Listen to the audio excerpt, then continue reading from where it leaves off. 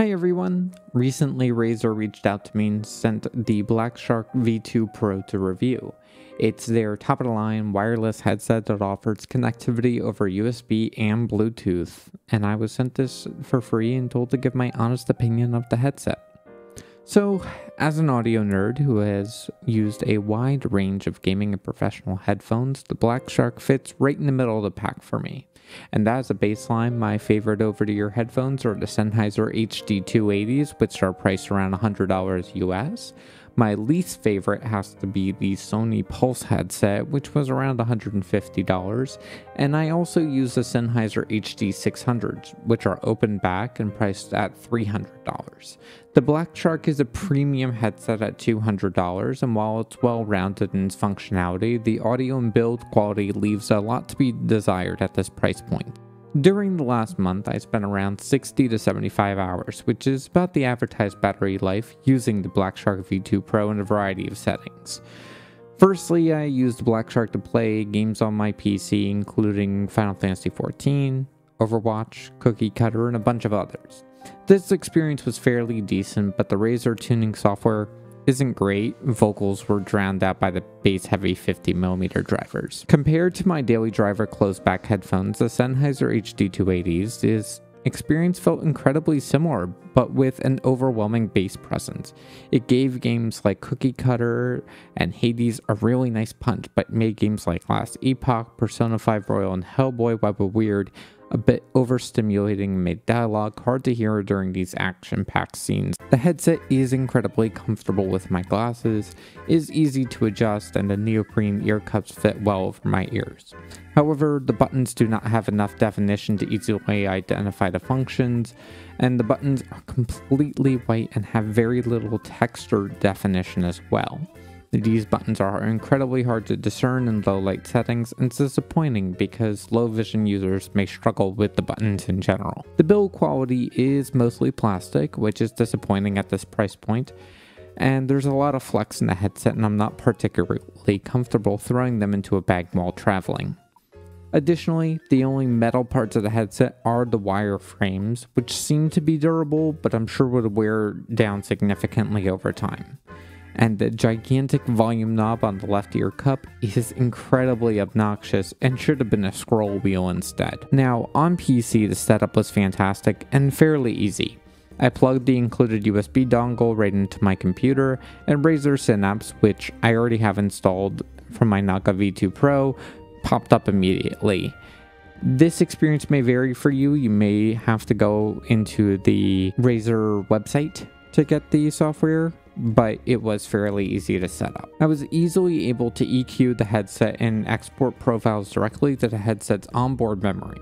I enjoyed using the headset for more action-packed games like Overwatch, Helldivers, and Warframe, but the EQ did not feel truly flat as the bass was still ever present and a bit overwhelming. On PC, I give the headset a 6 out of 10. On my PS5, I also used the USB dongle to plug right into the console.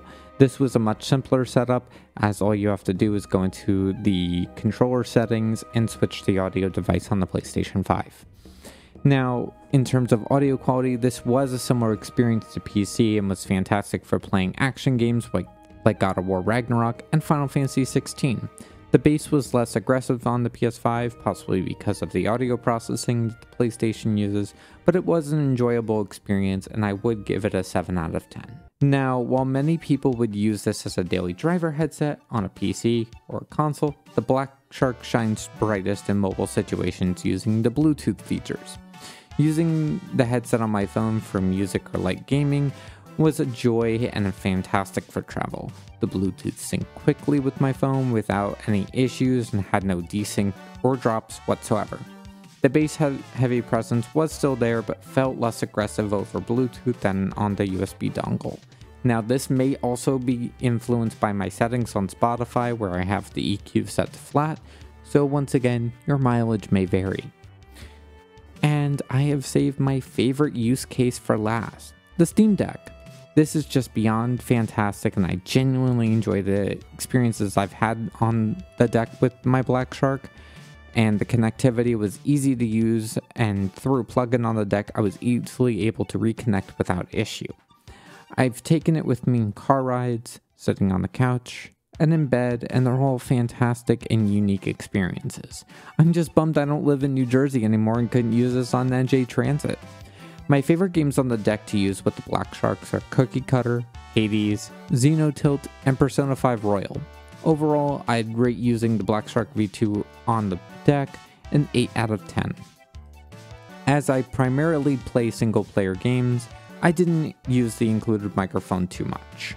For comparison, I'm currently using a Shure SM7B connected to a Lewitt Connect 6 and this is what the mic on the Black Shark V2 Pro sounds like. It is incredibly muffled and muddy. Um, I can imagine other people's frustrations when playing very action-packed games like Overwatch or Helldivers because this can absolutely get lost in the mix. It doesn't really have any punch to it. It is better than a lot of mics out there. Um, I think this would be fantastic for starting out on streaming or um, just like general use. But when the headset itself is $200, you could get a really good mic and a good pair of headphones for the same price, and you'd be much better off. So it's incredibly disappointing, and I will not be using it again. There's a lot that the Black Shark V2 Pro offers. The long battery life, the Bluetooth and USB capability, and the very comfortable ear cups, but as an audiophile, there are far better headphones at the price point of $200.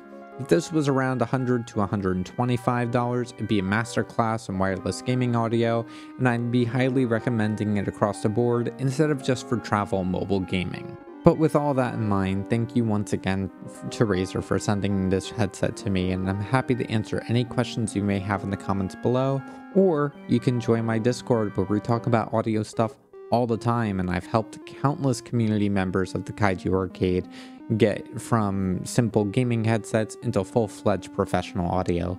Thanks and have a good one.